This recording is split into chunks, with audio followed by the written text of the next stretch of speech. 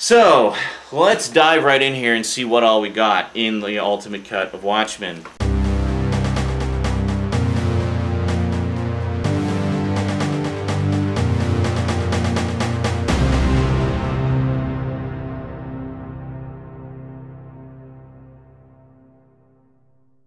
Now I have taken, I went to great pains to do scans of every possible angle of this box.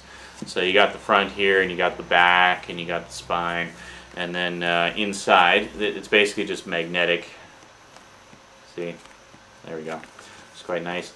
You got uh, pictures. See, these are the same uh, shots that were on the back, uh, the uh, backing of the interior of the uh, director's cut. And then inside, we got the Watchmen Ultimate Cut here. And it also comes with the motion comic. Now they didn't even put it in, didn't even bother repackaging it. Let me just slide these out here. Um, yeah, so there you go. So it's just a nice little box that uh, holds everything. They didn't even bother repackaging it. They just put it in as is. I, I got to say, um, I didn't know what to expect from the motion comic, but I was really, really impressed with this. They did such a good job of it. Um, I mean, it's almost like a fully, it's almost fully animated. It's like this close but it's got like a full score and sound effects throughout. The only drawback, and I've heard a lot of people complain about this, and I kind of agree, is it's not done with a full cast. It's just done with a single narrator reading the text and performing the characters and some people had a problem with it when he would do the female characters. See, I've listened to a lot of audiobooks and whatnot, so it really wasn't a big deal to me. And I thought he did some of the characters really well. Like, I really liked his performance as uh, Rorschach, and I really liked him as Dr. Manhattan. I thought he did a great, great job as those two characters, especially. Yeah, I think it would have been better with a full cast. But if you're looking to, to just jump into the graphic novel, but you're not a big reader, I definitely recommend checking out the motion comic. Uh, as I mentioned in the previous edition, it's pretty close to complete. They they don't have the backup features, obviously. It's just the main story, and, and, they cut out a couple of minor things here and there, but really just because they're doing it in a slightly more cinematic style, and it would have been redundant to have dialogue during those moments or whatever. So there really isn't much missing, and the whole thing runs about five and a half hours, but it's divided into 12 episodes, so you can just watch it at your leisure. Myself, I was totally taken in by it, and I actually watched the whole dang thing in two sittings. I just had like a Watchmen week. I sat down and I watched uh, the maximum movie mode on the director's cut. I watched the whole motion comic, and then I watched the, the ultimate cut and all the extras, absolutely everything, and just had a blast. And they're quality extras too. Like they're extras that I would actually watch again just because I enjoyed them. Okay, so then we get into the ultimate cut of the Watchmen, which basically just duplicates the cover of the main box here, and you got your nice. I did scans of all these too, so I don't even really need to show you, but I'll just sort of show you how it all unfolds. Uh, just pull that out for a second. So you got that. We'll just pause the uh, box shots here. So it's just a gatefold thing. And it actually lists the contents on the inside, which is nice.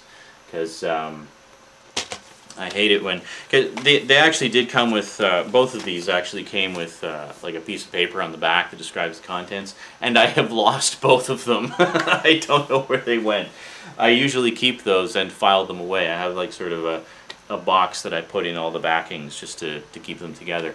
And normally I keep those, uh, but I don't know what happened. Um, I'm, I'm, thinking they might have accidentally gotten thrown out when uh, Annetta was in the process of packing up to move, or I was cleaning, or, or whatever.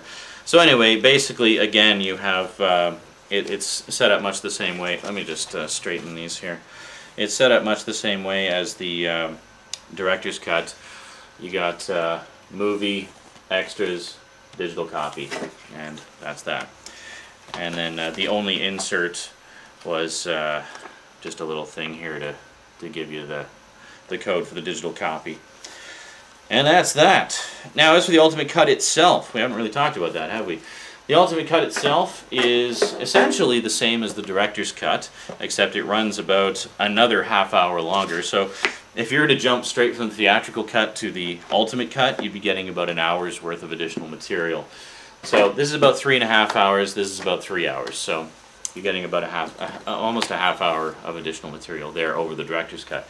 Now, most of what that additional material is, is Tales of the Black Freighter, because like the comic, in the ultimate cut, Tales of the Black Freighter has been intercut into the main story. So it cuts back and forth between the Black Freighter storyline and the main storyline. Some people don't like that. which is why it's good that the director's cut is also available. So if you don't like that, you have the director's cut as an option. Myself, I love it because it just makes it that much more faithful to the original comic and that much more thorough of an adaptation. Plus, in addition to the Black Freighter segments, you've got the bridging segments that surround them with the kid reading the comic and the guy at the newsstand. And there's a lot of little bits and pieces of the story, certain things that lead into main events of the main story that occur during those moments. So it really gives you a much more complete picture of the sequences of events throughout the story. Now, my only complaint about it is you know how I mentioned how the Black Freighter story is very tightly interwoven into the main narrative in the graphic novel? It's not done quite as well in the Ultimate Cut. It's done about as well as could be given how they decided to, to, do the to do, to do the multiple cuts, namely to have the theatrical cut and then later release the director's cut and the ultimate cut. A lot of people complain like, "Oh, what's the multiple cuts?" It's like, you know what? Before Watchmen even hit theaters, Zack Snyder said in multiple interviews, multiple sources, that there was going to be three cuts of the movie. So, if you were still in the dark by the time this came out, it's your own fault. You know, pay attention pay attention to stuff. Just read news about upcoming releases so that you don't get stung with the uh, double dip fury, you know, because this was not done out of the blue. This was announced well in advance and people were well aware of it. So there's really no excuse. They could not have been more upfront and non-secretive about the fact that there was going to be three different versions of Watchmen to choose from. And I think it's great that there is because there's a lot of people who like different versions of it. A lot of people didn't like the Black Freighter story in the comic even, so they prefer the director's cut because it just sticks to the main story. But people like me are, you know, perfectionists and want it as complete as possible, so I love the fact that we have the ultimate cut as an option because that's as thorough as it can possibly be. Um, plus, I really liked the characters of the, the two guys at the newsstand. I really enjoyed their their subplot in the original comic, and and was sad that they weren't in the the movie, like the, the the original cuts of the movie, very much. They're in it a little bit, but really not in any way that would be significant or that you would really remember them much. But in the ultimate cut, it's a much more memorable subplot because you well you get the whole thing. Yeah. So anyway, what I was saying, uh, yeah, Black Freighter isn't 20 minutes ago, uh, Black Freighter isn't cut in as seamlessly in the movie version as it was in the comic book. And I think the reason for that is, is pretty simple, basically because they planned in advance to have three different cuts. So the other two cuts were given precedence, so they were designed to stand on their own without the Black Freighter stuff uh, interwoven so much. So whereas in the comic book it would it would sort of interweave back and forth and and flow much more naturally from one to the other and had a lot more parallels to events in one or the other. Uh, in the Ultimate Cut, for the mo it, they do that to some extent, but it can be a little bit jarring. Just like suddenly you're into the Black Freighter story again, and then it comes back, and yeah. There are moments where it's it's more of a seamless transition, but sometimes it just kind of seems to crash into the Black Freighter story, and and it's like, whoa, oh, okay, we're back to this now, okay. And unfortunately, as a result of that, some of the original parallels between the Black Freighter story and the main narrative are lost, uh, lost in the translation. So, whatever, what can you do? Overall, for me personally, the ultimate cut is my preferred cut of the movie and the one that I will watch over and over and over again. And when I feel like just going back to film school with Zack Snyder as my teacher, I'll watch the maximum movie mode on the director's cut again. So, or, you know, if I just feel like watching the main, you know, putting the main story on in the background and not getting too deep into it, I'll probably put the director's cut on. And, uh, you know, Zack Snyder describes the ultimate cut as the everything, including this kitchen sink cut. Um, this was really a cut made for the hardcore fans to make it as thorough an adaptation as possible. It was a hard sell enough as it was in the theaters to have this version in the uh, theaters, I think would have would have put too many people off, and they wouldn't have uh, enjoyed it as much. And it, it would. I mean, it didn't do very well in the theaters anyway, but. Uh, yeah, it would have done worse, I think, if they put the Ultimate Cut in the theaters. And again, this is why I say I am so overwhelmingly pleased with how they handled Watchmen in the movie. um, as a longtime fan of the graphic novel. We don't get this kind of treat very often, you know? I mean, how often do we get three different cuts of the movie, and we're told that we're getting three different cuts of the movie up front from the beginning, and we have one that is specifically geared towards the hardcore fans? That just doesn't happen, you know? Usually, you get your shitty adaptation, then you get an extended version of the shitty adaptation, but it's still a shitty adaptation. So here we start off with a pretty damn good adaptation, plus a great adaptation, and then a darn near perfect adaptation. So it's not often that fans of source material from another medium get treated to an adaptation that is done so thoroughly and so much with the fans in mind. Watchmen is essentially an art film. It really is. It's an art film that got a $150 million budget. but it really is an art film.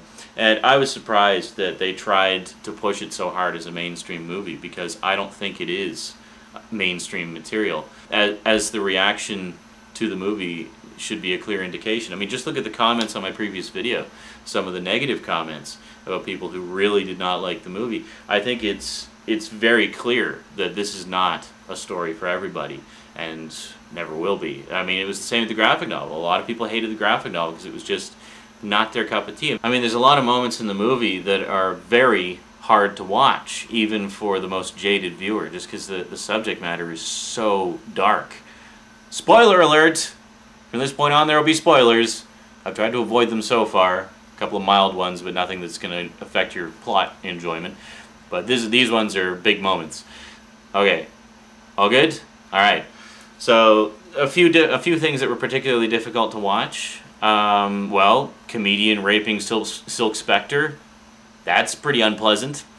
And, and beating her beforehand. Comedian again, uh, killing the pregnant woman in Vietnam. That's pretty rough. The whole sequence of Rorschach becoming Rorschach, tracking down the child killer to his lair and seeing the dogs gnawing on the, the little girl's leg bone, and then subsequently Rorschach hacking the guy to bits with the meat cleaver. That's all really hard to watch. That whole sequence is just emotionally challenging. I mean, it really is and there's a lot of moments like that in Watchmen. It's funny. Uh, was it one comment, or I think it was a couple of comments on the first part? Was like, yeah, I love how all these parents were all surprised taking their kids to see Watchmen and getting all bent out of shape because of the sex and violence. It's like, well, did you not notice that it's rated R? rated R for extreme graphic, brutal violence and explicit sexual content, nudity, language, and disturbing imagery. That should be a good tip-off. Parents, ratings are your friends, and the little descriptions behind them as to why the movie got that rating, those are your friends too. Use them. If your child grows up to be completely fucked in the head, it's your own goddamn fault for not paying attention to the ratings and taking them to see Watchmen when they were six years old. Don't blame the medium. Blame yourselves. Alright. Well, I think that pretty much covers everything. Uh, yeah, so basically the long and the short of it is I got both because I wanted all the extras because I love Watchmen and wanted as much Watchmen goodies as I could possibly get in terms of the, you know, the movie and anything to do with the movie. So for me, the ultimate cut is truly ultimate and the director's cut has some awesome extras. Oh, and picture and sound quality are fantastic.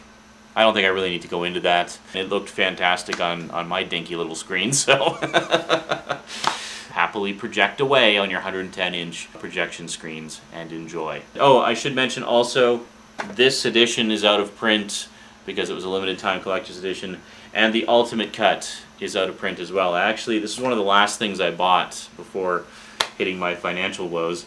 Back in June, it was one of my big treats in June, and then it went out of print on June 30th and has been out of print ever since. You can still get the DVD version fairly cheap, but the Blu-ray edition is now going for collector's prices. So, good luck. You, you might actually you might find some people willing to sell it cheap. You know, it's not all it's not all price gougers out there. So keep an eye out for a deal and uh, see if you can pick it up. But uh, just bear in mind, it is out of print. So if you want to get the ultimate cut, you might want to jump on that fairly soon because. Uh, it's getting harder and harder to find. That's not to say that they'll never re-release it. Warner Brothers has a tendency to put things out of print and then bring them back into print later. They did that with the Batman Anthology collection, I know, and the Matrix collection and stuff like that. So I'm sure that they'll bring the Ultimate Cut back in some form at some point, someday. Alrighty. I think we've rambled about Watchmen enough. So next time, let's get on to something else. Don't know off the top of my head what it'll be. Oh, actually, I do know what it'll be. But I'm not going to tell you. so for all you know, I don't know. I could just be saying that to go, All right. That's it for me to you for now. So until next time, thanks for watching, and sayonara.